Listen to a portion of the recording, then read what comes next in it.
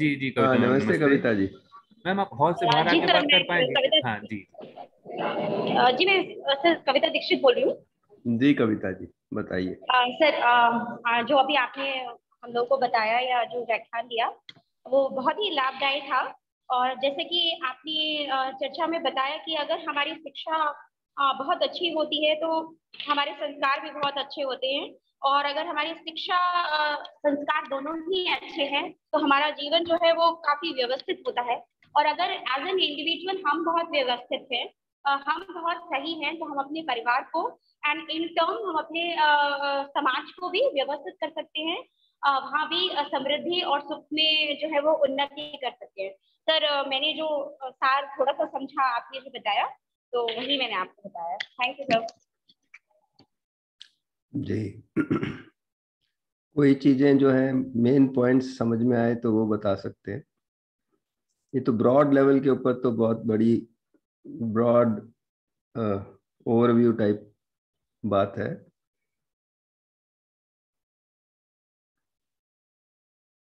और लोग बताएँ। आप लोग सब टीचर्स हैं या टीचर्स का काम करने वाले हैं?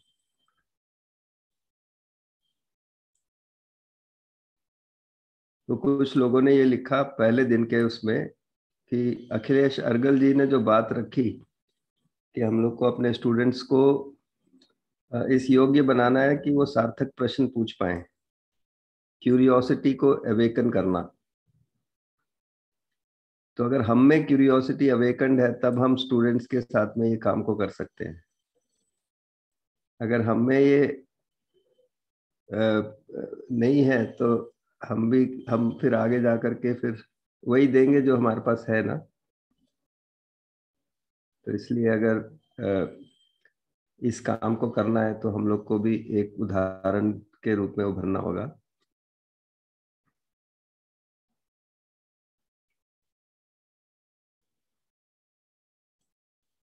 अभी तो बहुत बार बच्चे से पूछते हैं कि भाई, बताइए तो वो कहते हैं, आपको क्या सुनना है? बताएँ, हम वही बता देंगे आपको। है ना और लोग बताएँ कोई आज बेचारे को चेटिंग ही नहीं। जी नेहा जी बताइए।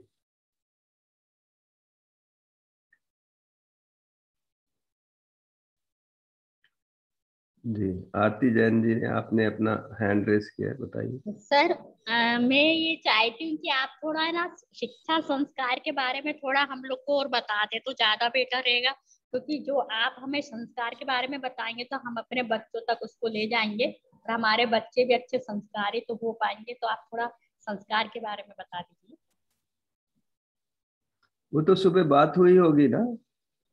जी सर, हुई थी तो थोड़ा सोच रहे हैं कि थोड़े और अच्छे संस्कार, जैसे प्रेम के बारे में, स्नेह के बारे में बताया था, बहुत अच्छा बताया था सर ने। और हम बच्चों के ऊपर क्या करें कि बच्चे ना उससे हट के अपने पढ़ाई में ध्यान दे।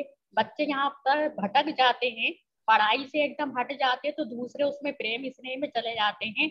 तो इसलिए मैं सोच रही थी उनके ऊपर ऐसा हम करें कि बच्चे ना पढ़ाई में लग जाए और प्रेम स्नेह से जो उसमें लग जाते तो उससे हट जाए तो ज़्यादा बेटर रहेगा। इसके लिए आप और अच्छे हो, कोई से विचार बता सकते हैं तो उचित रहेगा।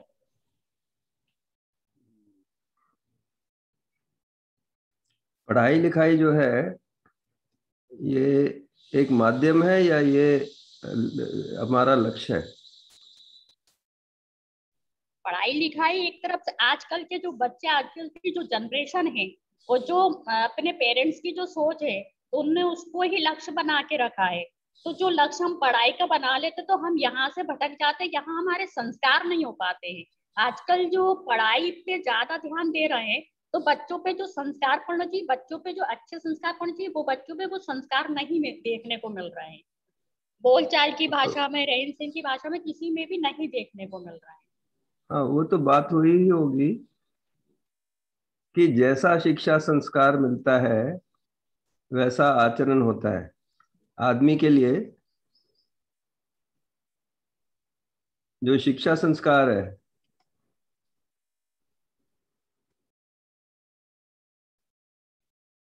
जैसा शिक्षा संस्कार होता है वैसा आचरण होता है उसका।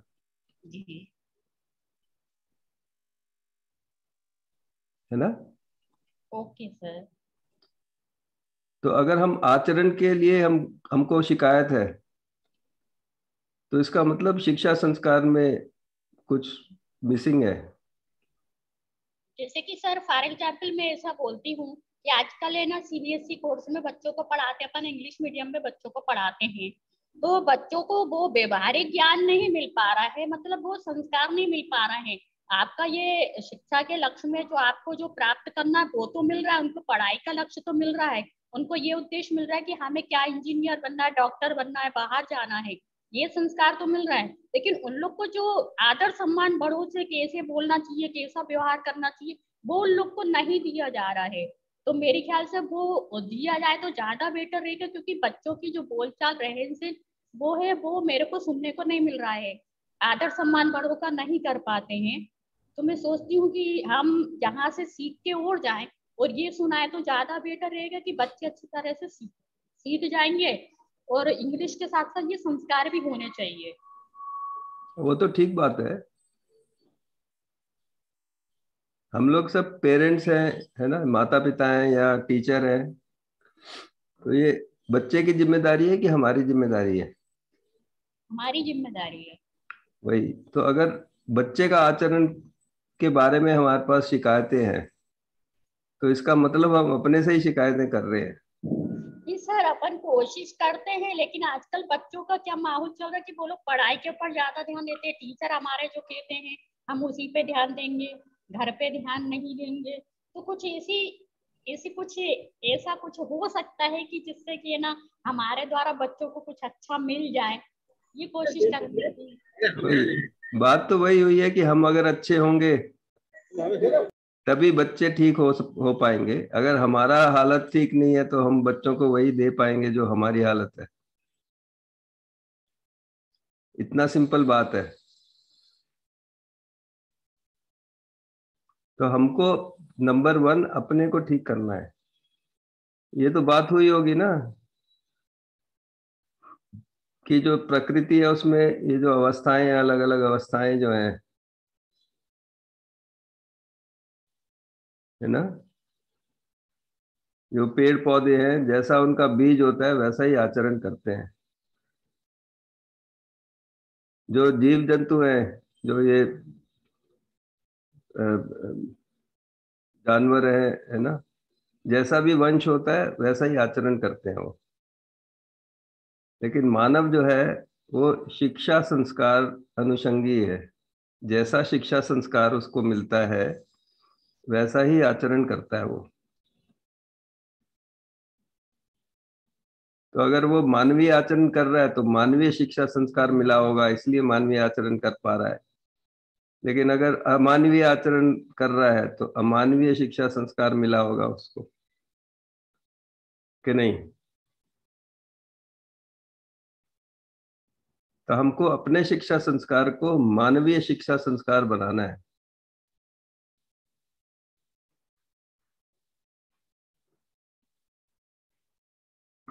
होलिस्टिक बनाना है।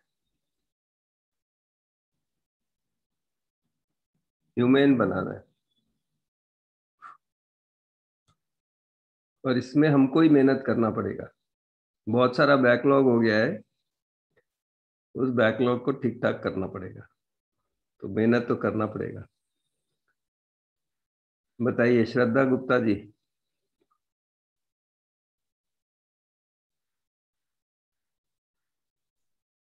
जी सर।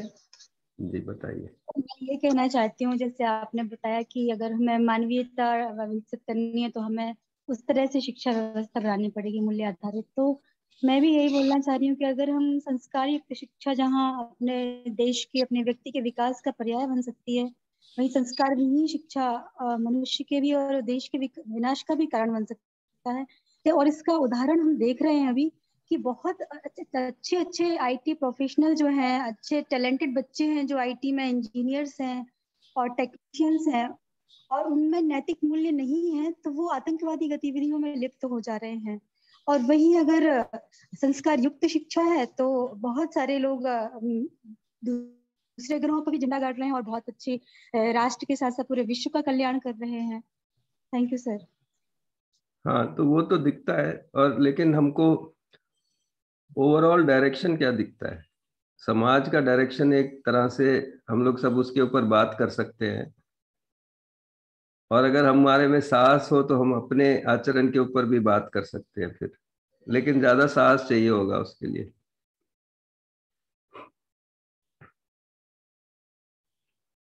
और उसको ठीक करना जो है, वो हमारा होमवर्क है। हमारा काम है। और अगर हम उसको कर पाते हैं तो हमारे बच्चों के लिए बहुत उपकारी रहेगा वो। और उसको अगर हम पोस्टपोन करते हैं तो उतना पोस्टपोन हो जाएगा। तो अगर जो भी काम आप करते हैं एज ए टीचर जो भी काम आप करते हैं एक तो वो सौ गुना मल्टीप्लाई होता है। और वो दस साल से लेकर के कम से कम में भी सौ साल तक चलता है।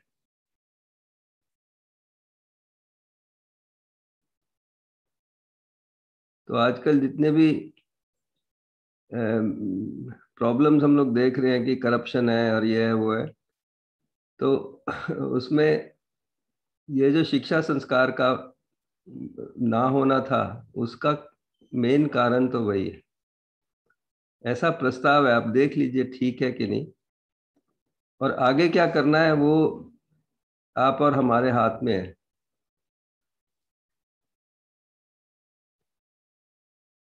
है ना? तो अगर हम लोग मेहनत कर लेते हैं तो चीज़ें एक जो दिशा में जा रही हैं, वहाँ से ठीक हो सकती हैं।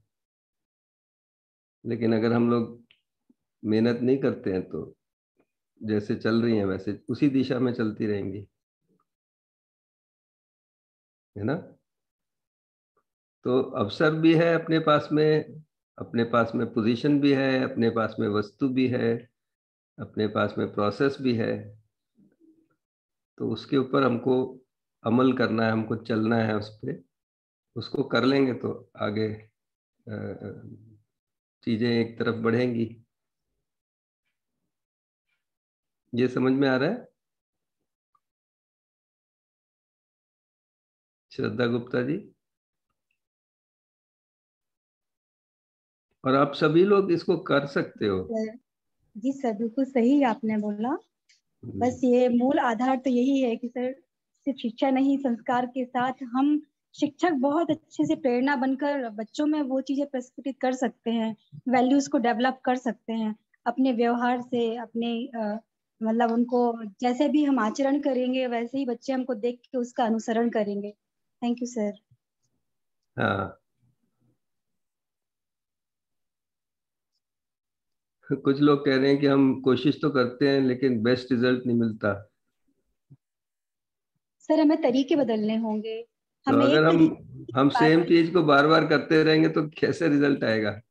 बिल्कुल सर। अगर हम एक ही बात को कई तरीके से कई एक्सपेरिमेंट करें एक बात के इम्प्लीमेंट के लिए तो निश्चित रूप से हमको रिज़ल्ट पॉजिटिव मिलेगा सर। वही। So if you are trying the same thing over and over again you will get the same result. Definitely sir किसी ने कहा है कि वन इंडिकेटर या one definition of confusion is doing the same thing again and again and expecting different results. Ji. You know तो हमको सही को पहचान करके सही करने का काम करना है। अगर हमको सही पहचान में वैज्ञानिक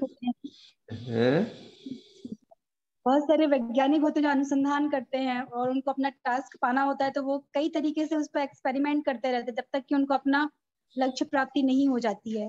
तो हम एक ही चीज़ को प्राप्त करने के लिए अपने फॉर्मूलाज बदल सकते अपने काम करने के तरीके या हम अपने कोई भी बात समझाना चाह रहे हैं बच्चों को तो हम अलग अलग वे से समझाएँ।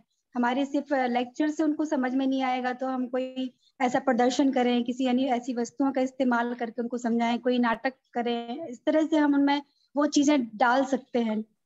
ठीक बात है बिल्कुल ठीक बात है। ऐसा सब करना पड़ेगा लेकिन उसके अंदर एक नंबर पे तो हमको लक्ष्य की स्पष्टता होना ज़रूरी है। बिल्कुल सर। है ना? जी। अगर हम देखें कि हमारा लक्ष्य क्या है कहाँ पहुँचना है हमको और लक्ष्य का ये मतलब नहीं होता है कि एक चीज़ हो गई तो उसके बाद में फिर दूसरा कर लेंगे फिर तीसरा कर लेंगे एंड ऑल दैट लक्ष्य का मतलब होता है कि जहाँ पर हमको हमारा जो गंतव्य है जहाँ पर पहुँच करके हमको कंटिन्यू करना है। जी सर। है ना? तो जहाँ पर पहुँच कर कंटिन्यू करना है वो स्थान जो है। और उसको हम लोग ने एक तरह से परिभाषित किया है एक नंबर पे ह्यूमन बीइंग का जो लक्ष्य है है ना? वो निरंतर सुख समृद्धि पूर्वक जीना है। जी। है ना? जी। या उसको बहुत छोटा लिखे तो निरंतर सुख। जी सर जैसे हमारे जो गुरुजन थे उनने हमें जो संस्कार दिए थे और सर आज भी वो अगर हमें कहीं मिल जाते हैं तो ऑटोमेटिक हमारा मतलब हाथ उनके चरणों में पहुँच जाता है। लेकिन सर आज के परिवेश में कुछ ऐसा हो रहा है या हम कुछ ऐसा दे नहीं पा रहे हैं कि बच्चा सामने भी जाता हुआ हमको नमस्ते भी नहीं करता है तो कहीं ना कहीं कमी हमारे में भी है। कि हमको वो चीज़ें डेवलप करना नहीं आ पा रही हैं कि वैल्यूज़ को हम कैसे अपने बच्चों में डालें। वही तो वो ज़रूरी है कि हम लोग उसको उसका अध्ययन करें। जी सर। और अ, मतलब बच्चा जो है वो अगर श्रेष्ठता को पहचान पाता है तो वो ज़रूर अ, उसको एक्सप्रेस करेगा। अगर वो देख पाता है कि कोई व्यक्ति श्रेष्ठ है तो फिर वो ज़रूर उसको पहचानेगा और उसके साथ में कुछ कार्यक्रम बनाएगा। लेकिन अगर उसको नहीं दिखता है कोई तो वो क्या करे वो? अगर नहीं दिख रहा तो क्या करे? जी सर सही है। है ना? सर सर हम इसको एग्ज़ाम्पल के रूप में ऐसे भी समझ सकते हैं कि हमारे क्लास में एक पंखा लगा हुआ है उसमें सारी चीज़ें हैं लेकिन वो उसमें अगर इलेक्ट्रिसिटी नहीं देंगे तो वो चल नहीं सकता। ऐसे ही हम टीचर्स भी अगर उनको एक इलेक्ट्रिसिटी एक मार्गदर्शक के रूप में प्रेरक के रूप में बन जाते हैं उनके लिए। तो वैल्यूज़ उनके अंदर है लेकिन हमको उनको जागृत करना है बस। वही। तो ये बात हुई होगी दिन में कि हमारा जो शिक्षा संस्कार का जो काम है वो जो लेफ़्ट साइड में लिखा है उस तरह से कर रहे हैं हम या राइट साइड में जो लिखा है उस तरह से कर रहे हैं? कैसे कर रहे हैं? तो आप लोग चैट में लिख सकते हैं, बाई ओर का या दाई ओर का, या लेफ़्ट राइट कुछ लिख सकते हैं। या इसको लिख सकते हैं वन, और जो लेफ़्ट साइड में लिखा हुआ है, इसको वन लिख सकते हैं और इसको टू लिख सकते हैं। तो बताइए कि किस तरह से हमारा, क्या वातावरण क्या है अभी?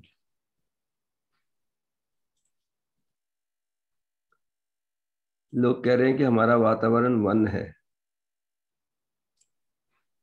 वास्तव में वन है क्या? चाहते तो वन है लेकिन ऐसा है कि ऐसा है। कैसा है कैसा? हम ये नहीं पूछ रहे कैसा चाहते हैं। सभी लोग लिख रहे हैं कि वन। बहुत अच्छा।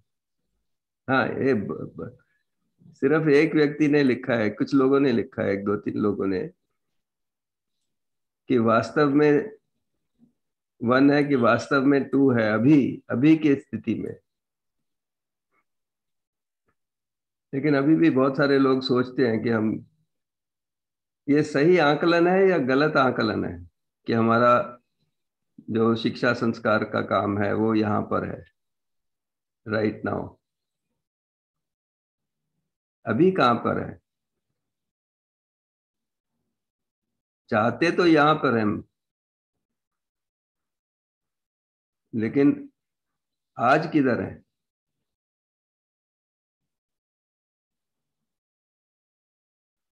अगर जहीं पर जहाँ पर भी हैं, हम लोग यहाँ पर शिफ्ट हो जाएँ तो बहुत अच्छा रहेगा।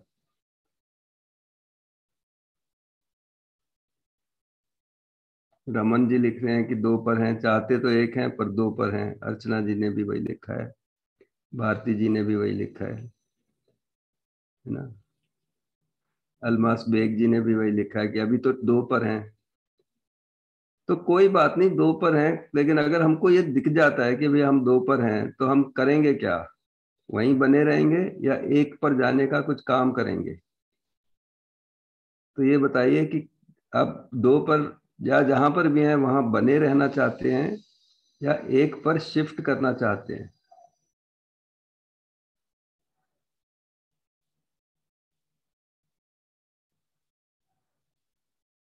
एक पर जाने का प्रयास करेंगे, रीना जी ने लिखा है है ना? और फिर इन्होंने लिखा है नीड टू प्रिपेयर लेसन तो बिल्कुल इस, यहाँ से यहाँ जाने में बहुत सारा खून पसीना निकलेगा, है कि नहीं?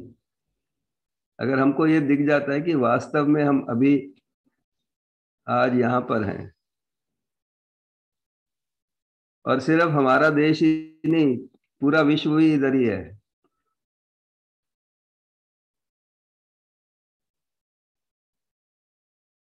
तो अगर हम यहाँ से यहाँ पे शिफ्ट और ये बड़ा कठिन काम है, ये कोई बहुत आसान काम नहीं है, लेकिन ये बहुत सुखद काम है। कठिन है, पर सुखद है। और हम लोगों, सबके पास में अवसर है इस काम को करने का। कि नहीं?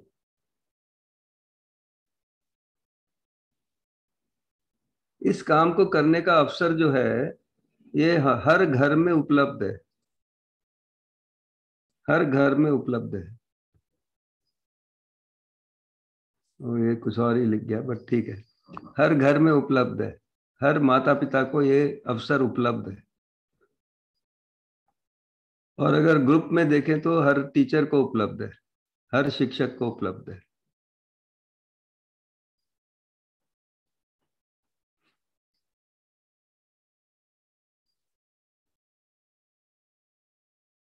लेकिन करना तो पड़ेगा, बहुत सारा काम तो करना पड़ेगा। और जैसे मटेरियल डेवलप करने का काम है, वो तो करना पड़ेगा। अगर ऑलरेडी कुछ मटेरियल उपलब्ध है तो उसको यूज़ कर लेंगे। समय के साथ चलना तो है। समय के साथ क्या चलना है बताइए लखन जी। समय किधर जा रहा है आपका?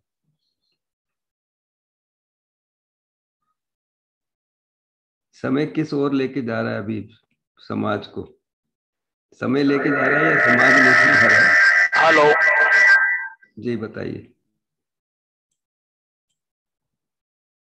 बहुत सारी एको आ रही है आपके उससे। जी, श्रद्धा गुप्ता जी, आप बताइए।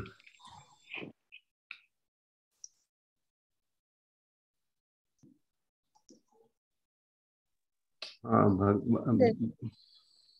सर समय तो पल प्रतिपल बदलता ही रहता है, लेकिन अगर हमारे में वैल्यूज़ हैं और हम उनको पीढ़ी दर पीढ़ी स्थानांतरित कर रहे हैं, अगर हमने एक स्टूडेंट भी तैयार किया है ऐसा कि जो नैतिक मूल्यों से भरा हुआ है तो वो गुणात्मक रूप से जैसे आपने भी बताया कि एक शिक्षक मल्टीप्लाई करता है, गुणात्मक रूप से अभिवृद्धि करता है तो एक शिक्षक ने एक बच्चे को दिया, उस बच्चे ने न जाने कितने बच्चों को लाभान्वित कर दिया और पूरे समाज को लाभान्वित कर दिया तो ये मल्टीप्ले रूप में वैल्यूज़ आगे बढ़ती जाएँगी।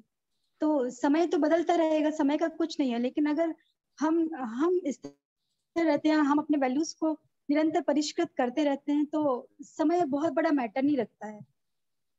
वही, अगर बच्चा शिक्षा में कितना टाइम लगा रहा है आपके साथ में? जब बच्चा आपको ज्वाइन करता है तो लेटर से पाँच साल का होता है। जब वो पूरा करता है तो कितने साल का होता है?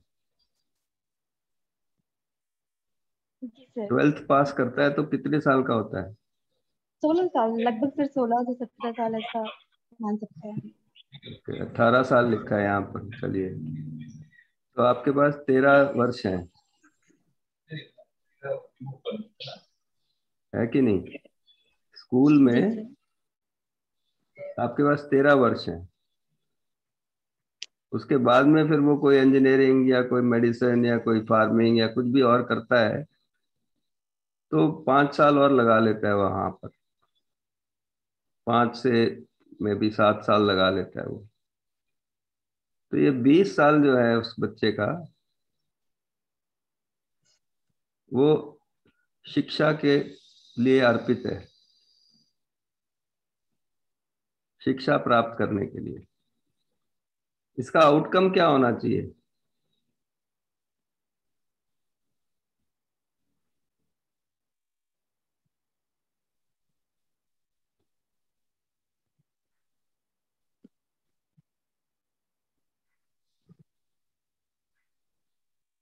क्या आउटकम होना चाहिए? सर, मुझे लगता है कि जो प्राइमरी और मिडिल लेवल पे बच्चा सीख और समझ लेता है, सर, वो पूरा स्तंभ होता है उसके पूरे जीवन का। मतलब एक फाउंडेशन जो उसका अगर अच्छा हो गया नींव अच्छी हो गई, और अगर उनमें ही हमने नैतिक मूल्यों को डाल दिया, और सर, हम शब्दों से नहीं डाल सकते हैं। हम उनको ऐसा बनाए, ऐसा अपने आचार विचार, व्यवहार कार्यकलाप से ऐसा कुछ उनके अंदर डालें, स्नेह, प्रेम आपस में सौहार्द की भावना, आपस में कुछ ग्रुप डिस्कशन करें और आपस में कुछ वैमनस्यता है उसको दूर करने की प्रयास करें। बिल्कुल अपने बच्चों की तरह कि हमारे दोनों बच्चे लड़ गए तो हमें उनको कैसे करना है? तो निश्चित रूप से वो सर आगे पूरा उनका भविष्य बहुत अच्छा बन जाएगा। वही। बिल्कुल तो इस काम को करना है। हम क्या बताते हैं? उनको प्रेम का भाव देते हैं या विरोध का भाव देते हैं? सर कभी कभी प्रेम और कभी कभी विरोध दोनों ही चलता रहता है क्योंकि मोरली लगता है कि टीचर भी उतना स्ट्रांग नहीं है मोरली सर। वो एजुकेटेड हो जाता है उसका ज्ञान का लेवल बढ़ जाता है सूचनाओं का लेवल बढ़ जाता है उसके पास बहुत सारी सूचनाएँ संग्रहित है लेकिन ज्ञान का और बोध का लेवल नहीं बढ़ पाता है सर। वो विचारात्मक और मनोवैज्ञानिक रूप से उतना सबल नहीं हो पाता है सर। मनोवैज्ञानिक कमज़ोरी जो है वो हर एक के अंदर बनी रहती है सर। वही तो हम लिटरेट तो बना दे रहे हैं उनको। जी सर। पढ़ना लिखना आ गया जोड़ना घटाना आ गया है? जी सर। एजुकेटेड कर रहे हैं कि नहीं? बिल्कुल सर। सही गलत के बीच में निष्ठा हो जाए कि भी हमको सही जीना है और कैसा सही है क्या सही है वो भी हमको पता चल जाए। तो इसको शिक्षा कह रहे हैं। और ये वाला जो भाग है उसको संस्कार कह रहे हैं। सर जैसे कल से ही हमने वैल्यूज़ पढ़ी हैं कि स्नेह प्रेम सम्मान उसको हम कितना भी अच्छे से डिफाइन कर दें बच्चों को परिभाषाएँ लिखवा दें कुछ भी कर दें लेकिन जब तक उनके वो हाव भाव विचार व्यवहार में नहीं आई वो चीज़ें तब तक उन चीज़ों के मायने नहीं रहेंगे सर। वही वो तो होगा भी नहीं। और जब तक हमारे पास वो देने को नहीं है ना तब तक वो होगा भी नहीं। बिल्कुल सर। है ना? तो ये बात हुई है कि आदमी का जो मूल चाहना है उसको पूरा करने के लिए तीन वस्तुओं की आवश्यकता है। एक समझ की आवश्यकता है एक भाव की आवश्यकता है संबंध में भाव और एक आवश्यकता है सुविधा की। जी सर। ठीक है ना? हम अपने को देख लें कि हमारे पास जो कुछ भी है है ना? ये है कि नहीं है ये है कि नहीं है ये है कि नहीं है जो भी होगा हम उसको दे सकते हैं। दूसरे को। तो अगर ये टीचर है और ये स्टूडेंट है तो आपके पास में जो कुछ भी होगा, वो आप दे सकते हो स्टूडेंट को। और आपके पास में जो कुछ भी है, उसमें से कुछ परसेंटेज दे सकते हो। क्योंकि उसका जो कैपेसिटी है ग्रहण करने का, उसको भी ध्यान में रखना होगा। तो अगर आपके पास हंड्रेड चीज़ें हैं तो ये दस चीज़ें ग्रहण कर सकता है। हम अपेक्षा करते हैं कि हमारे पास दस हो और ये हंड्रेड कर ले। ऐसा होता नहीं है। ऐसा ही होता है। समझ रहे हैं आप? तो अभी की स्थिति में देख लें कि हमारे पास सुविधाएँ तो बहुत हैं। हम सुविधा का काम कर सकते हैं, लेकिन जब हम सुविधा देते हैं तो हमारी सुविधा घट जाती है। तो उस काम को हम बहुत करते नहीं है। भाव हमारे पास है कि नहीं है, वो देख लें। तो इसके पास भी पहुँचता नहीं है। और अगर ये ये है कि नहीं है, ये भी नहीं पहुँचता। लेकिन अगर स्थिति ऐसी हो जाए कि हम अपने को तैयार कर लें, ये इससे इससे और इससे तैयार कर ले, है ना तो फिर बच्चे को हम ये देने का काम कर सकेंगे। ये भी होगा, ये भी होगा, ये भी होगा। क्योंकि अगर हमारे पास नहीं है तो यहाँ से हम दे नहीं सकते हैं इसको। ये दे सकते हैं, लेकिन ये मतलब देने की आवश्यकता भी नहीं, उसको सिर्फ़ तैयार करना है।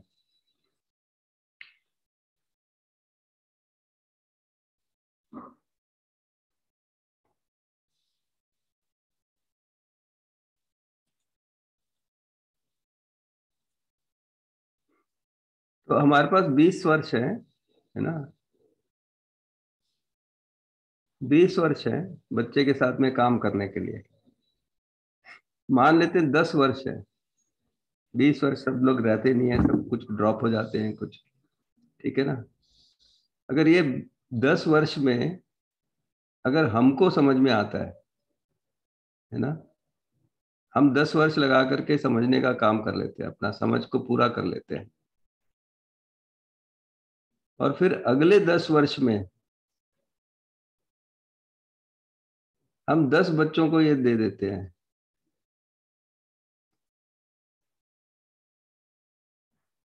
है ना? तो कितने वर्ष हो गए? दस यहाँ पर, दस यहाँ पर। बीस वर्ष हो गए और अगले दस वर्ष में ये दस लोग जो हैं, ये और दस लोगों को कर देते हैं। तो कितने लोग हुए?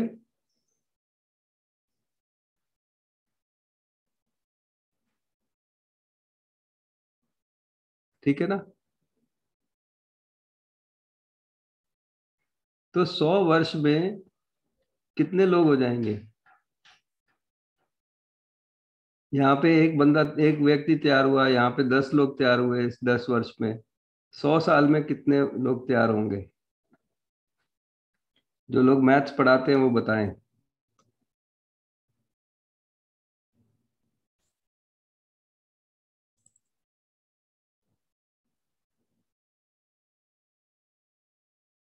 अगर आपको दस दस वर्ष लगते हैं समझने में, एक व्यक्ति को दस वर्ष लगते हैं। एक एक व्यक्ति जो है, अगले दस वर्ष में दस लोगों को तैयार करे। हाँ फरूक जी ने आंसर ठीक दिया है। नहीं, फिर गलत हो गया, फरूक सलीम खान, आपका आंसर जो है, फिर से गलत हो गया। वन थाउज़ेंड करोड़ हाँ ये ठीक है ठीक है ठीक है, ठीक वन थाउज़ेंड करोड़ ठीक है फारूक जी। ये अजरा आसिफ कह रही है law of energy conversation conversion applied वो law of energy conversion material के लिए अप्लाई करता है, आदमी के लिए नहीं अप्लाई करता। आदमी जो है, वो चैतन्य इकाई है। फॉर एग्ज़ाम्पल आप अगर किसी को समझने में सहयोग करते हैं तो आपकी समझ घट जाती है क्या? आप फिजिक्स पढ़ाते हैं केमिस्ट्री पढ़ाते हैं। जब आप पढ़ाते हैं बच्चों को तो आपका जो नॉलेज है वो घट जाता है कि नहीं घटता? नहीं घटता। सिंपल सी बात है। राजेश कुमार जी कह रहे हैं हाँ नहीं, बढ़ जाता है। हाँ। तो अगर हम इस काम को बहुत आराम आराम से भी करते हैं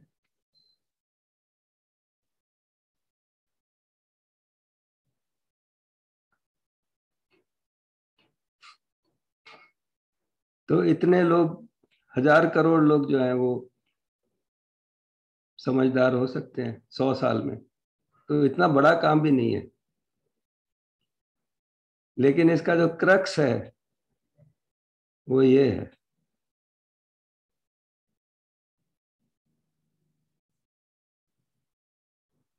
हम और आप हैं। अगर हम इस काम को मेहनत करके कर डालते हैं, तब ये फिर बन सकता है। ये जो सुनहरा सपना हम लोग सब देख रहे हैं। लेकिन ये ये नहीं होता तो ये आगे नहीं चलेगी गाड़ी।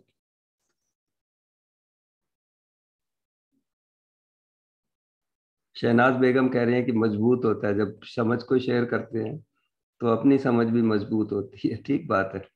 समझ मज़बूत होती है और कुछ फिजिक्स केमिस्ट्री पढ़ा रहे हैं तो वो भी मज़बूत हो जाता है। और कौन कह रहा है कि सम डाइल्यूशन में टेक प्लेस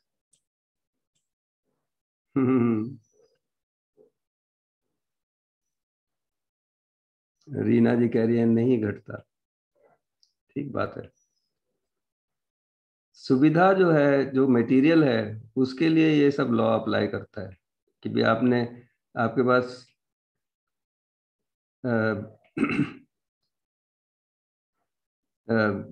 कुछ किताबें हैं। आपने किताब दे दिया तो कम हो जाएगा वो वो सुविधा है। लेकिन किताब में जो लिखा हुआ है, अगर आपके पास में है वो, उसको आप कितने भी लोगों के साथ शेयर करें तो वो घटता नहीं है। किताब घट सकता है, लेकिन आपका जो नॉलेज है वो नहीं घटेगा।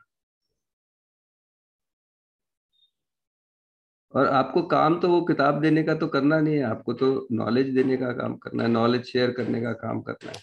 उतना ही काम है, बहुत सिंपल काम है।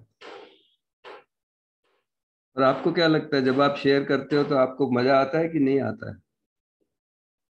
आपको ठीक लगता है? अगर कोई बच्चा आप, आपने जो समझाया, उसको सिखाया आपने, अब तो ज़्यादातर सिखाते हैं, समझाते, समझाने का काम आप करना शुरू करेंगे। जब भी किसी को कुछ समझ में आता है या उस, कुछ सीख जाता है तो आपको कैसा लगता है? यस वी फील गुड बहुत अच्छा लगता है। है ना? राजेश कुमार जी, बेग जी, पुष्पा जी, सब लोग कह रहे हैं, मज़ा आता है। भगवान दास जी। है ना? बहुत अच्छा। हमें बहुत अच्छा महसूस होता है, आरती जी। हम्म। तो ये सुखद काम है। ये जो काम है ना, ये सुखद काम है। ये वाला जो काम है, ये तो सुखद काम हमको दिख गया। लेकिन ये जो काम है, ये जो बहुत मेहनत का काम है, ये जो होमवर्क है हमारा, दस साल का होमवर्क है ये। कम से कम दस साल का बट लेटर से दस साल का होमवर्क जो भी है। मज़े की बात यह है कि ये भी सुखद है।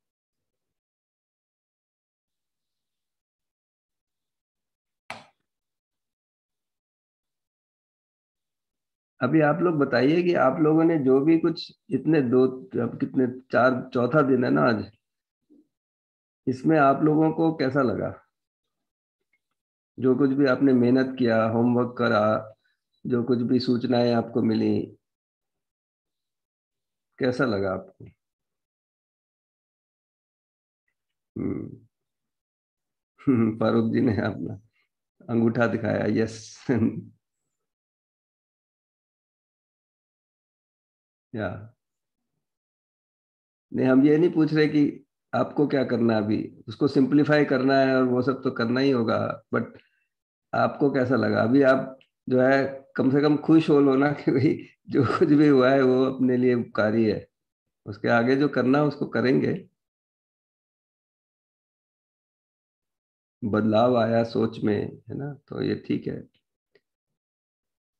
और ये बदलाव का जो कारण है, ये वर्कशॉप है या आप में जो जाँच परख हुआ है, वो है? बाहर से कुछ आपको सूचना मिला, वो बदलाव का कारण है कारण है या आपके अंदर जो जाँच परख हुआ? लिख ही नहीं रहा ठीक से।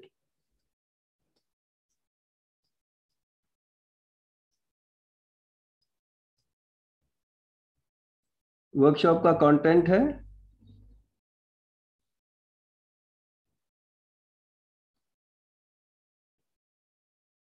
या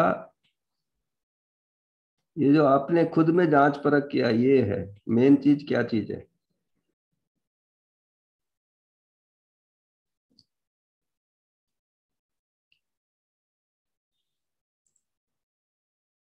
जी, राजेश कुमार जी, बताइए।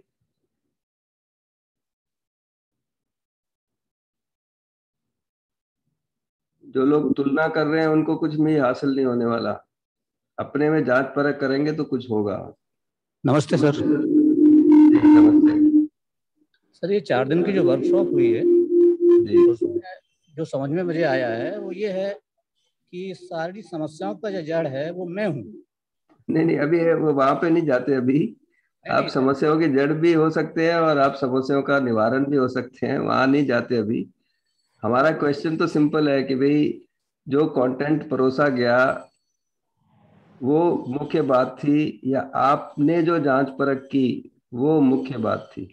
जी सर मैं ये कहना चाह रहा हूँ मतलब मेरा कहने का मतलब अर्थ दूसरा होगा। मैं ये कहना चाह रहा हूँ कि व्यक्ति स्वयं में यदि अपने आप को परिवर्तन ला दे। मैं मैं व्यक्ति को मत जाइए आप अपने ऊपर रहिए। हाँ वही मैं कहना चाह रहा था कि सारी समस्याओं के मूल जड़ में हूँ इसलिए मतलब मैं अपने आप को उसको इंडिकेट कर रहा मैं ऐसे मतलब हमारा अहम कहें या जो भी कहें। तो मैं ये समझ पाया हूँ कि अगर हम स्वयं में परिवर्तन कर लें तो निश्चित ही काफ़ी परिवर्तन और जो आज की मूल समस्याएँ हैं जैसे हम देख रहे हैं जी। कि हम सभी लोग सत्य की ओर भागना चाहते हैं हम ये जानते हैं कि सत्य क्या है और फिर भी हम दिखावे का मुखौटा लगाए हुए हैं हम ये सब चीज़ समझ रहे हैं कि हमारे एग्जैक्ट जो हम लोग अभी पोल कर रहे हैं इसमें हम लोगों को जो जानकारी मिल रही है तो हम 80 परसेंट पर ये समझ पा रहे हैं कि हम सब लोग समझदार हैं और ये जानते हैं कि सत्य क्या है और हमें कैसे जीना है।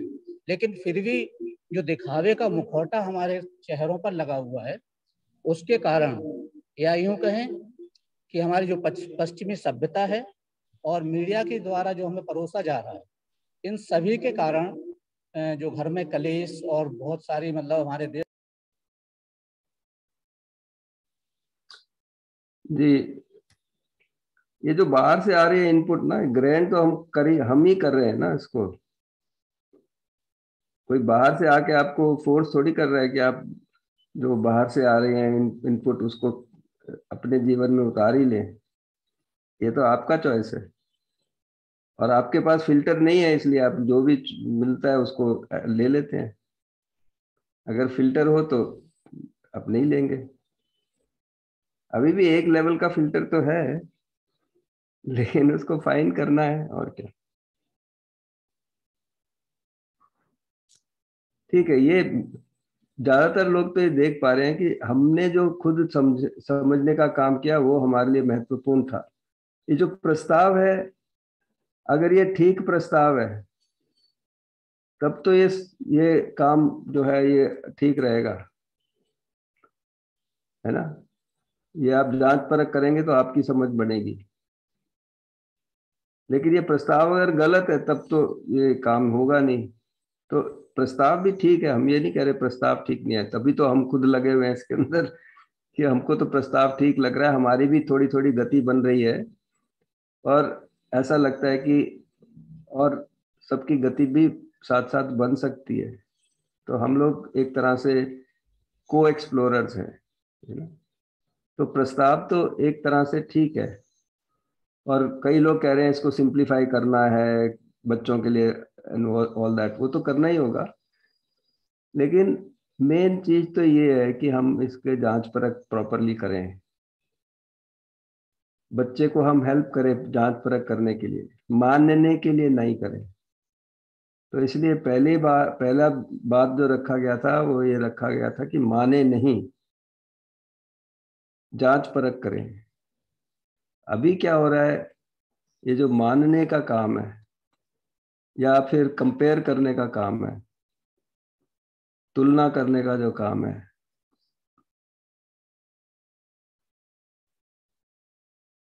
ये इससे काम नहीं चलेगा। हमको अपने में जाँच करना पड़ेगा। और जाँच की विधि बताई थी, जाँच परख करने की, है ना? तो ये करेंगे प्रॉपरली करेंगे सीरियसली करेंगे, तब जाकर के हमको कुछ समझ में आएगा। है ना? अगर हम अपनी मनोस्थिति को देखेंगे फॉर एग्ज़ाम्पल अगर हम आपसे पूछें कि मानव का क्या स्वरूप है?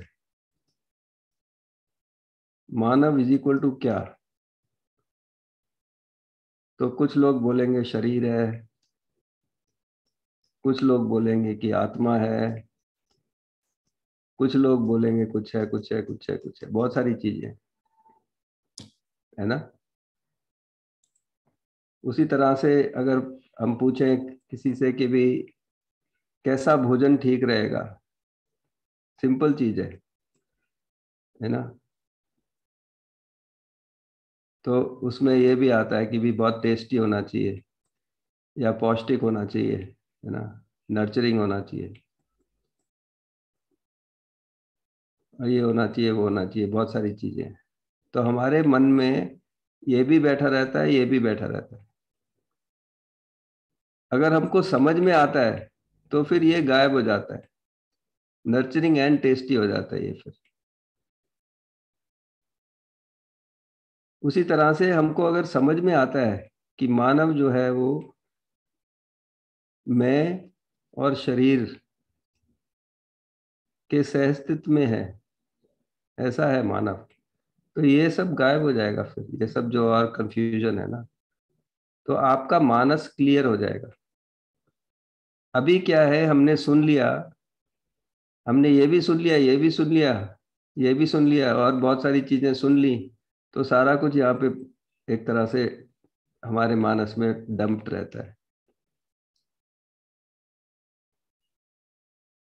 तो समझ का मतलब होगा कि ये सब क्लियर हो जाए और जो सही है वो ही बचे।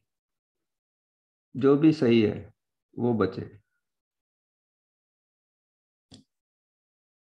तो ये काम को करना है, इस काम को बहुत सारे नाम दिए गए हैं, है ना? चित्त शुद्धि नाम दिया गया है, समझ दिया गया है है ना?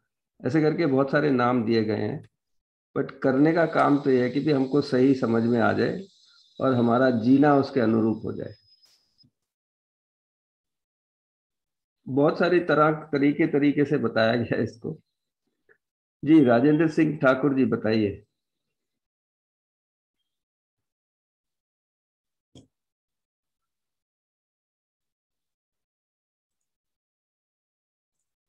ठीक है तो हम लोग के पास में अब करीब 20 मिनट बाकी हैं। तो हम लोग ये देख पाते हैं कि जो वातावरण चाहिए बच्चे को, अनुसरण से लेकर के अनुशासन तक जाने का और वहाँ से स्व अनुशासन तक जाने का, वो एक संबंध का वातावरण उसको चाहिए और सही का प्रस्ताव उसके पास में हो, तब जाकर के ये काम होने की संभावना बनती है। नहीं तो वो मनमानी में ही जाता है। और आजकल आप देख ही पा रहे होंगे कि बच्चा तो मनमानी कर ही रहा है, लेकिन हमारी हालत भी वैसे ही कुछ है।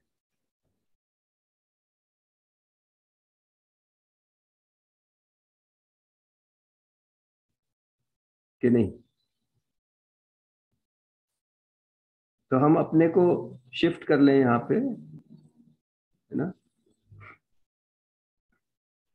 तो इसी काम को हम लोग ने आज सेकंड सेशन में इसके बारे में बात हुई होगी, अनु, अनुसरण, अनुकरण, है ना? इसको हम थोड़ा सा समअप कर देते हैं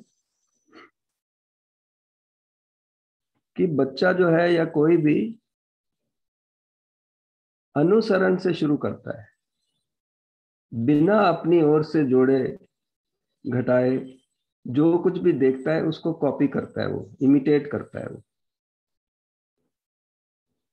जैसे कि आपकी जो भाषा है, आपका बच्चा उस भाषा को कॉपी करके सीख लेता है इमिटेट करके सीख लेता है।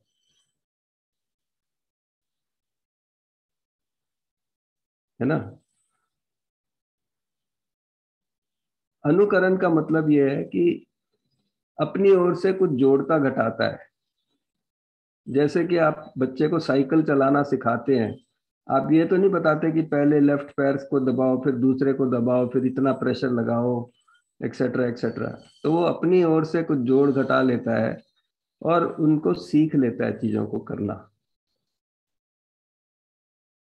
और जो आप बताते हैं उसको क्या करना है, क्या नहीं करना है, उसको भी स्वीकार लेता है और वैसा करने लगता है। जो आप बताते नहीं करना तो वो नहीं करता। है ना? और वो चलता रहता है। आज्ञा पालन में वो चलता रहता है कि आप इंडिविजुअल इंस्ट्रक्शंस देते हैं, पानी लेकर आओ, ले आता है पानी। तो इंडिविजुअल इंस्ट्रक्शंस को फॉलो करने का ओबे करने का काम करता है वो। और उसके बाद में जो स्टेज आती है कि डिसिप्लिन की स्टेज कि आपने एक सेट ऑफ़ इंस्ट्रक्शन उसको दे दिया, उसको भी फॉलो करता है वो। लेकिन बेसिकली उसके पीछे ये रहता है कि या हम, हमको या तो पनिशमेंट मिलेगी या फिर कुछ ट्रॉफी वॉफी इंसेंटिव मिलेगा। तो डिसिप्लिन तक जाता है, लेकिन उसका जो गंतव्य है, वो यहाँ पे रुकना नहीं है। उसको व्यवस्था को, नियम को समझकर, अपने व्यवहार को खुद तय करने की व्यवहार को, कार्य को, भागीदारी को ये स्वतंत्रता चाहता है बच्चा। तो अगर वो सही समझा है तो उसका प्रमाण यही होगा कि वो सुख और समृद्धि को प्राप्त कर गया है और निरंतरता में उस वो सुख और सम, सुखी और समृद्ध हो गया है। तो यहाँ तक पहुँचना चाहता है बच्चा। सही करना चाहता है सही यहाँ तक पहुँचना चाहता है लेकिन शुरू इधर से करता है। तो जब आपके स्कूल में बच्चा आता है तो वो इन्हीं स्टेजेस में से कहीं पे होता है। जो प्राइमरी के बच्चे हैं, वो ज़्यादातर ये पहली दो स्टेज में होंगे। कुछ लोग यहाँ पे होंगे। आजकल हम लोग बच्चों को बहुत ओबीडियंट बना ही देते हैं, मारपीट करके। या जैसे भी, है ना? तो मिडिल का बच्चा हो सकता है कि वो इन स्टेजेस में हो कहीं पे। तो जब जितनी जल्दी हो सके हम, हमारा प्रयास तो ये रहे कि हम उसको स्व अनुशासन तक पहुँचने में सहयोग कर दें। इसमें कोई प्रश्न हो तो बताइए।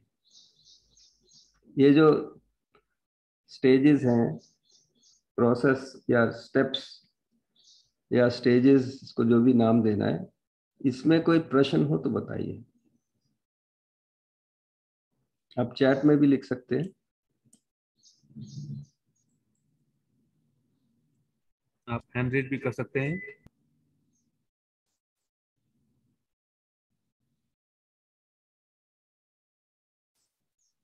कभी कभी बच्चे पर इतने नियम थोपे जाते हैं उसका पूरा बचपन ही खराब हो कर देते हैं। ठीक बात है भानु जी बिल्कुल ठीक बात है। तो इसलिए उसके ऊपर बहुत सारे जो बाहर के जो अस्वीकार नियम है। वो थोपना गलत है। मानवकृत जो नियम है ना, वो ज़रूरी नहीं है कि वो व्यवस्था के अनुरूप हो। लेकिन जो प्राकृतिक नियम है, या बौद्धिक नियम है, वो तो उसको बताना ठीक ही है।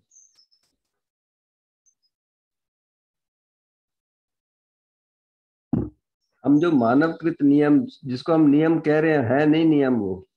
वो मान्यताएँ हैं। तो हम मान्यताएँ थोपते रहते हैं लोगों के ऊपर।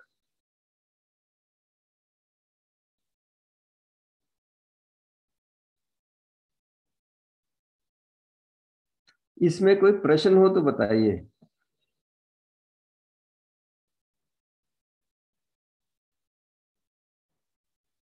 नियम को कभी थोपा नहीं जाता। नियम तो समझ में आता है या नहीं समझ में आता है। थोपा तो मान्यताएँ जाती है।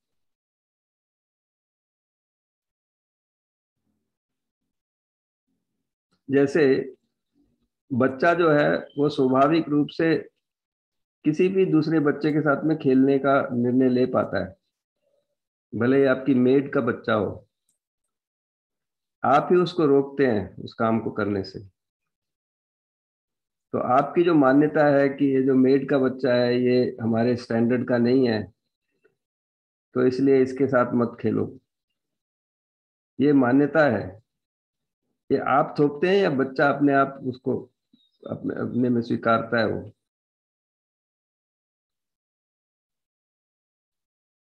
आप इसको नियम दा, नाम दे सकते हैं लेकिन है तो मान्यता। हमारे घर का नियम ऐसा है कि मेड के बच्चे से नहीं खेला जाएगा।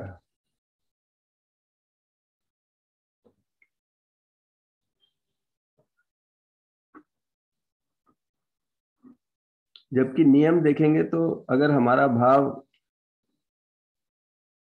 एक सहज स्वीकृत भाव है तो हम सुखी रहते हैं। इतना सिंपल नियम है, एक बौद्धिक नियम है ये, कि जब हम में सही भाव होता है तो हम हम सुखी रहते हैं। ये एक नियम है। उसी तरह से प्राकृतिक में, प्रकृति में भी बहुत सारे नियम है जिसको फिजिक्स में पढ़ाते हैं। है ना?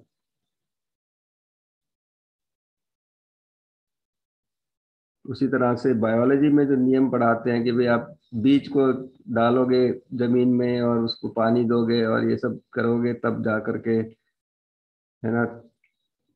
दस दिन में उसका अंकुरन होगा और उसके बाद में फिर, उतने दिन के बाद में फिर उसका एक पौधा बनेगा और इतने दिन के बाद में फिर उसका वृक्ष बनेगा और फिर इतने दिन के बाद में फल आएगा उसमें, है ना? ये भी एक नियम है। तो ये तो समझने पड़ेंगे, जो प्राकृतिक नियम है या बौद्धिक नियम है, वो तो समझने पड़ेंगे। नहीं तो लोग जो है, वो आज बीज डालेंगे और कल कहेंगे कि भैया फल किधर है? हमने तो आम का बीज डाला था कल, अब किधर गया वो? आम क्यों नहीं निकला अभी तक? कि नहीं? है ना? बड़े उतावले होते हैं लोग। हमने कल को कोर्स शुरू कर दिया और अब सब लोग समझदार हो जाएँगे। हैं? दस साल तो लगेंगे उसमें। अगर बीज ठीक होगा तब। अगर बीज ठीक नहीं होगा तब तो वो आम का बीज अगर ठीक नहीं था तब आम का पेड़ भी नहीं निकलेगा और जो फल निकलेगा वो कुछ और ही निकलेगा। जी श्रद्धा जी बताइए।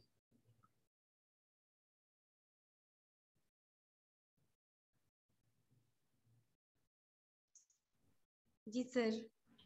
सर जैसे आपने बीज की बात कही है तो मैं मैं भी यही कहना चाहती हूँ किसी भी बीज में कितना बड़ा वृक्ष बनने की संभावनाएँ हैं ये हम नहीं कह सकते हैं।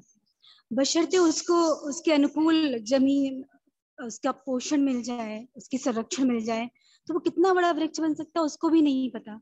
इसी तरह से हर एक नहीं, नहीं पता नहीं मतलब वो तो उसकी उस उसकी जो वातावरण है ना उसके ऊपर निर्भर करता है। और आदमी के लिए भी जो वातावरण है ये जो। संबंध का वातावरण है यही उसके लिए आहार है यही उसके लिए उचित है। अगर हम इसकी जगह में ये दूसरा वातावरण दे रहे हैं उसको डोमिनेशन का शासन का है ना भय का जी। सर इसी तरह से होमवर्क कर लो नहीं तो ये करेंगे और वो करेंगे नहीं करोगे तो ये करेंगे मारपीट होगी। इस तरह का वातावरण देंगे तो वो फलेगा नहीं। जी। सर बीज कितना भी उपजाऊ हो लेकिन उसको अच्छी भूमि नहीं मिल रही है बंजर भूमि में डला हुआ है तो वो हो सकता है थोड़ा सा कुंठित सा पौधा बन जाए हल्का सा उठाए अपनी हिम्मत से ताकत से लेकिन वो इतना व्यापक रूप से नहीं वो फल फूल सकता है। ऐसे ही बच्चे होते हैं सर उनके अंदर अपार संभावनाएँ हैं।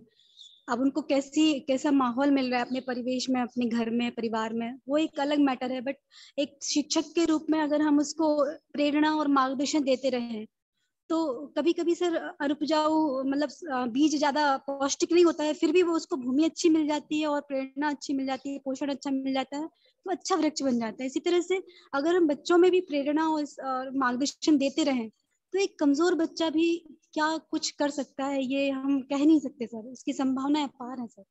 वही तो ये बात हुई है, जब सम्मान की चर्चा हुई थी तो सभी बच्चों में पोटेंशियल सेम है। ठीक से लिख नहीं रहा, हमारा पेन जो है ये। सेम पोटेंशियल एक ही संभावना है। हर बच्चे में सेम पोटेंशियल है। आपके पास में बहुत सारे उदाहरण हैं। आपने ज़रूर सुना होगा उंगली माल का उदाहरण।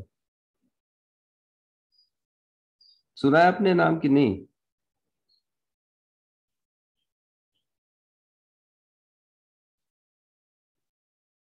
उसी तरह से कालिदास जी का उदाहरण सुना होगा आपने।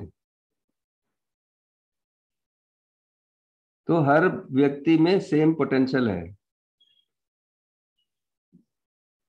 लेकिन उसको एक सही वातावरण मिल जाए, सही शिक्षा संस्कार का प्रस्ताव मिल जाए, उसको अच्छे टीचर मिल जाए, है ना? तो जैसे उंगली माल का उदाहरण है, उसमें कौन से टीचर मिले थे उनको?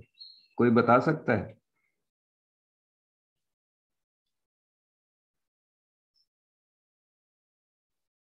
चैट में लिख सकते हैं। बिल्कुल, रमन कुमार जी ने सही आंसर दिया है। रीना जी ने, सब लोग मतलब वो तो जानते ही हैं, बहुत सिंपल उदाहरण है।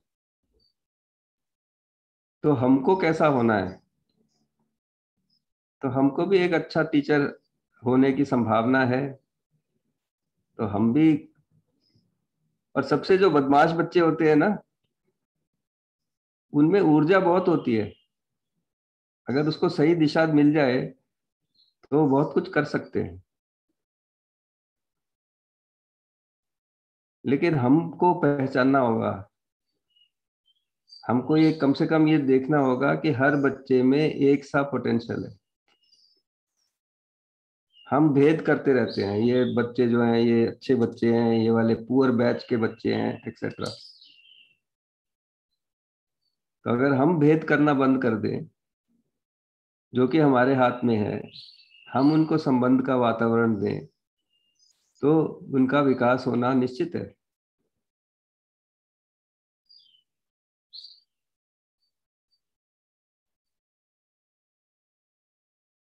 जी, भगवान दास जी बताइए।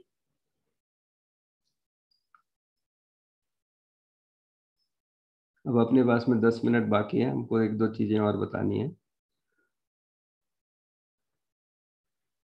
ठीक है। तो इसमें सबको ये ध्यान में आ गया होगा, इसको समझने का काम करें।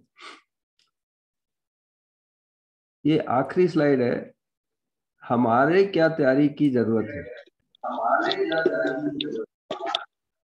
हमारी क्या तैयारी हो जिस रूम में भगवान दास जी हैं उनका माइक भी ऑन है और वहाँ पे स्पीकर भी कुछ लगा हुआ है। जिसमें आ रही है। तो ये तय हुआ था कि जो भी व्यक्ति क्वेश्चन रखेंगे वो थोड़ा उस रूम से बाहर जाकर रखना पड़ेगा। एनीवे anyway, अभी अपने पास में करीब सात आठ मिनट बाकी हैं। तो अपनी क्या तैयारी की ज़रूरत है? हम एज ए टीचर कब सक्सेसफुल होंगे?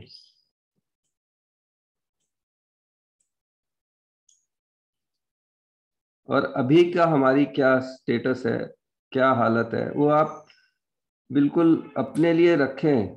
हमारा कहाँ पहुँचना है, वो बताएँ ज़रूर। लेकिन हम अभी कहाँ पर हैं, जो लोग बताना चाहें ज़रूर बताएँ। लेकिन आपको पता है कि आप कहाँ पर हैं। है ना? कहाँ पहुँचना है वो बहुत सिंपल है। कि हमको यहाँ तक पहुँचना है। एज ए टीचर अगर हमारा जो जीना है, वो इस प्रकार है तो हम बेस्ट टीचर कह सकते हैं अपने आप को कि अच्छा टीचर हो, ऐसा होगा, जो स्वनुशासित हो, सुखी हो, समृद्ध हो एक्सीलेंट हो है ना?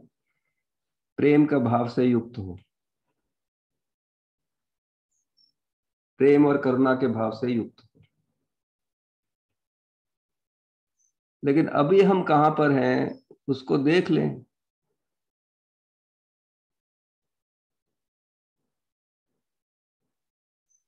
और फिर जहाँ पर भी हम हैं, वहाँ से यहाँ तक पहुँचने का कुछ काम करना शुरू करें। ना?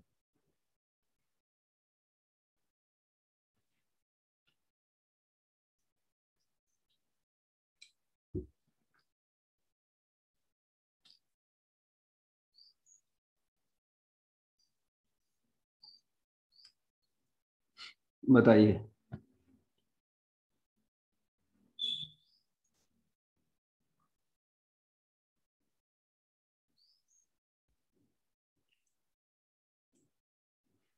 जी आरती जैन जी बताइए। आपका हैंड रेज्ड है।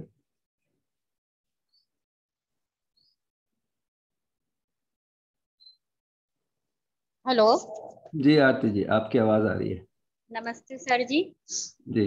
मैं कह रही हूँ अभी एक तरफ़ से हम सोचे जैसे हम प्राइमरी के स्टूडेंट रहते प्राइमरी के स्टूडेंट रहते हैं तो अभी मुझे ऐसा एहसास हो रहा है कि अभी हम प्राइमरी के स्टूडेंट है अभी हमें बहुत कुछ सीखने की ज़रूरत है।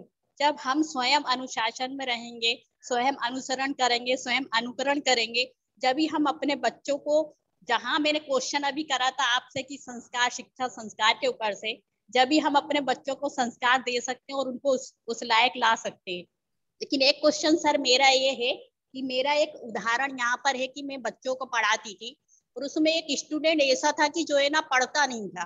बाकी हर काम में आगे रहता था। लेकिन बशर्त ये है कि सब बच्चे उसकी हँसी उड़ाते थे कि ये तो ऐसा है काम नहीं करता है पढ़ाई नहीं करता है बाकी सब में रहता है। लेकिन जब टेंथ क्लास का रिज़ल्ट निकला वो वही बच्चा जो काम करता था पढ़ाई नहीं करता था राइटिंग उसकी अच्छी थी लेकिन वही बच्चा आगे निकल गया। बाकी जो उसकी हँसी उड़ाते थे क्योंकि मैंने उसको बोला था कि आप पढ़ाई करें आप मेहनत करें आप अच्छे निकल सकते हैं। तो ये एक टीचर का ही कर्तव्य है कि टीचर बच्चे को कहाँ से कहाँ तक पहुँचा सकता है। आज वो बच्चा बीकॉम करके आगे निकल गया है वो जो बच्चे जो पढ़ते थे जो हँसी उड़ाते थे वो पीछे के पीछे रह गए तो मेरा मकसद केवल यही है कि शिक्षक जो एक ऐसा रहता है जो अच्छे संस्कार दे वो शिक्षक एक ऐसा रहता है जो अच्छे संस्कार देकर बच्चों को आगे बढ़ा सकता है। घर के जो संस्कार रहते हैं वो अलग है लेकिन जो शिक्षक जो देता है वो संस्कार बच्चे उसको अच्छी तरह से आ, वो लेते हैं अपने ऊपर उसको ग्रहण कर लेते हैं। तो अभी मेरे को यही लग रहा है कि मेरे को और ज़्यादा अच्छा शिक्षक लेने की और अनुशासन स्व अनुशासन करने की मेरे को ज़रूरत है। तो मैं देऊँगी तो आराम से मेरे बच्चे जिसको पढ़ा रही हूँ वो आगे अच्छी तरह से बढ़ पाएँगे। बिल्कुल बहुत बहुत शुभकामनाएँ आपको आरती जी। बच्चों के लिए भी बहुत सुखद है आपके लिए भी बहुत सुखद है ये काम करना जो है ना। इसीलिए हम लोग कर रहे हैं इस काम को सभी लोग मिल करके और हम लोग भी अपना आकलन अगर ठीक से करते हैं तो हमको पता चलता है कि हम रियली कहाँ पर हैं। और हमको आगे क्या करना है? तो इसलिए हम लोग तो हर रोज दो घंटा तो लगाते हैं, साढ़े पाँच बजे से साढ़े सात बजे तक। यहाँ तक पहुँच जाएँ, हम भी पहुँच जाएँ, ताकि हम समाज में कुछ सार्थक कर पाए। वो थर्ड प्रायोरिटी का काम है। पहली प्रायोरिटी का काम है कि भी हम खुद तो अपने आराम में आए। हम हम खुद ही झल्लाट में और ये सब करते रहते हैं तो फिर कहाँ से बाहर का काम होगा। पैसा तो मिल जाएगा आपको, लेकिन सुख नहीं मिलेगा। जॉब मिल गया तो पैसा तो चलो आ जाएगा, उससे आप सुविधा भी खरीद सकते हैं। लेकिन सुख मिल जाएगा कि नहीं मिल जाएगा? आप अपने बच्चे को सुखी कर पाएँगे कि नहीं कर पाएँगे? तो ये तो क्वेश्चनेबल है ना। तो इस काम को अगर हम लोग निष्ठा से करते हैं तो निश्चित गति होगी, बिल्कुल निश्चित गति होगी।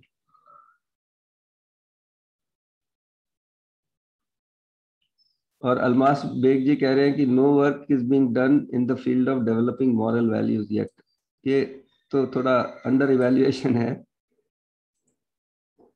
लेकिन जितना परवेसिवली करना चाहिए इस काम को, उतना नहीं हो रहा। ममता जी ने लिखा है डिसिप्लिन पे है हम.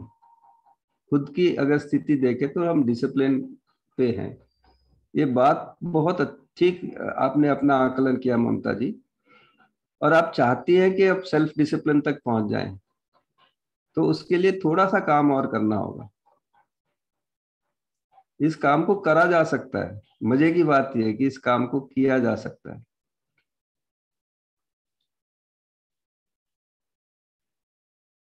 है ना?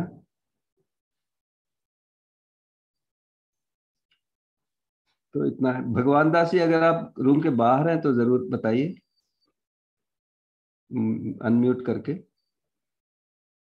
बाहर मतलब नहीं तो हेलो हेलो हाँ, जी जी, जी। सर नमस्ते सर। नमस्ते नमस्ते भगवान। आ, सर मैं एक कहना चाहता था जी। कि जैसे मैं अभी तक का जो अनुभव है शिक्षा के क्षेत्र में उसमें मैंने पढ़ा है कि बच्चे का जो माइंड डेवलप होता है तीन वर्ष की अवस्था तक बहुत अधिक तीव्र गति से होता है। जी। और इस तीन वर्ष के दौरान उस बच्चे को जो भी चीज़ें सिखाई जा सके अच्छी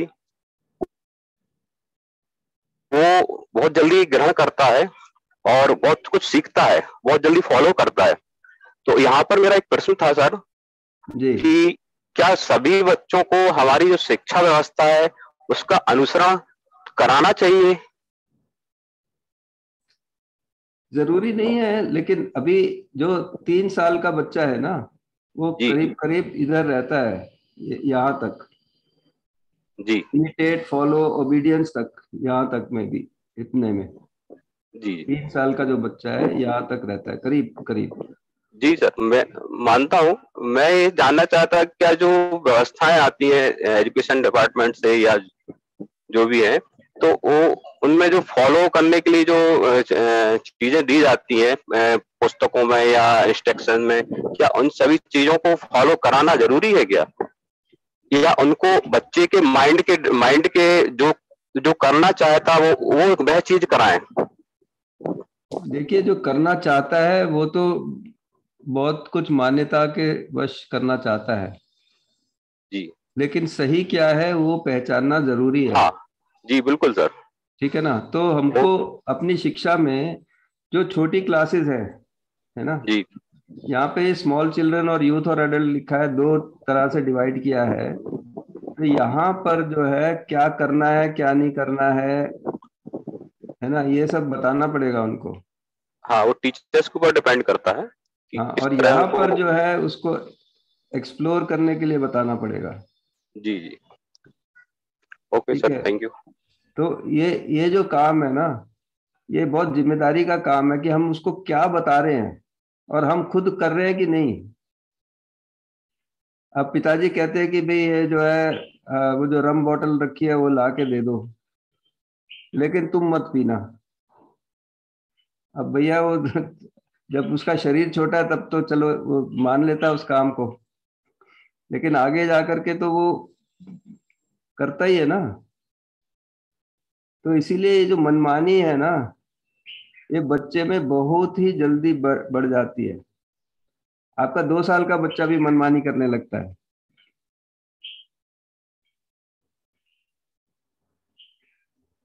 ये बहुत ही जल्दी हो जा रहा है क्योंकि जो वातावरण है, वो इस तरह का वातावरण है, इस तरह का।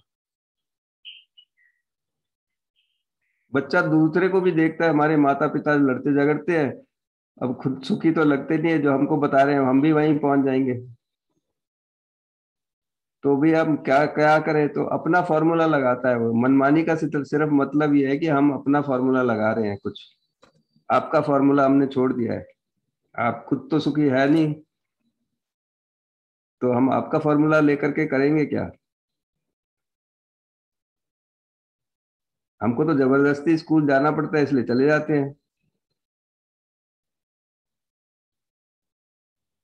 आप ही बोलते हो कि इनके पैर छुओ और ये करो और वो करो तो हम कर लेते हैं क्योंकि हमारा शरीर छोटा नहीं तो मार पिटाई हो जाएगी। लेकिन इसको करके हम सुखी हैं या नहीं है, या आप पूछते ही नहीं हो हमसे कभी भी। तो इसलिए जब भी उसको अवसर मिलता है तो वो मनमानी पे उतर आता है। और मनमानी पूर्वक जीकर कोई सुखी होता नहीं है। तो इसलिए जितना भी समय लगा ले उसमें राइट साइड में तो निकलना तो कुछ है नहीं उसमें से। दुख के अलावा कुछ नहीं निकलना उसमें से। तो जितनी जल्दी हम शिफ्ट हो सकते हैं और अपने स्कूल को शिफ्ट कर सकते हैं, अपने घर को शिफ्ट कर सकते हैं, उतना अच्छा है। ये बात ध्यान में आ रही है। आकलन को सही आकलन करना पड़ेगा। हम अपना बहुत सारा ओवर इवेल्युएशन करके बैठे रहते हैं।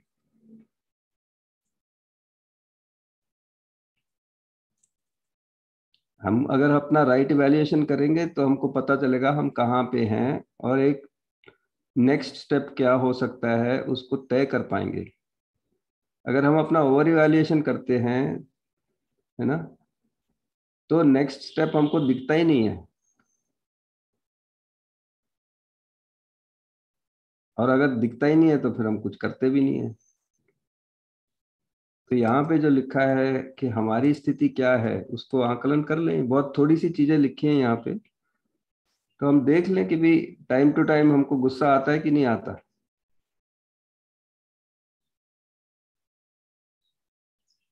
और हम भी कोई मूवी को देख करके हैं, उसकी जो ड्रेस है, उसको यहाँ पे कर रहे हैं कि नहीं कर रहे हैं।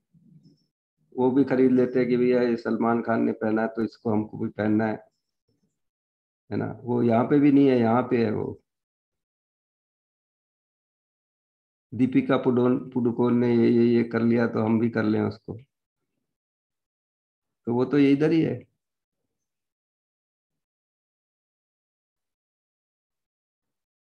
तो हमको तो ये दिख जाए कि हम कहाँ पर हैं, इस इससे निराश होने की बिल्कुल आवश्यकता नहीं है। लेकिन इससे नेक्स्ट स्टेप क्या हो सकता है? वो उसकी क्लैरिटी बनेगी। अगर हमको नेक्स्ट स्टेप नहीं पता कि यहाँ से कहाँ, जहाँ पर भी हैं हम, वहाँ से नेक्स्ट करना क्या है? अगर हमको ये नहीं पता इसका उत्तर, तब तो हम मान लेते हैं कि हम तो पहुँच गए हैं, हमको तो कुछ करने की ज़रूरत नहीं है।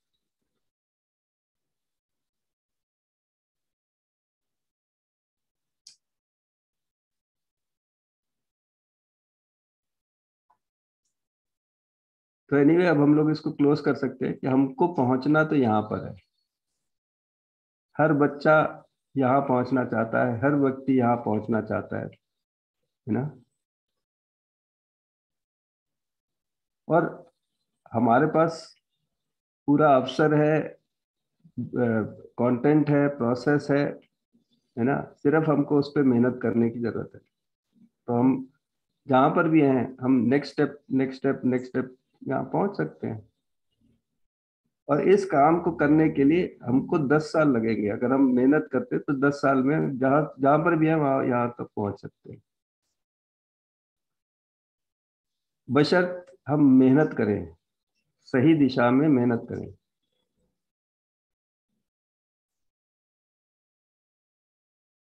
तो सबको बहुत बहुत शुभकामनाएँ। अब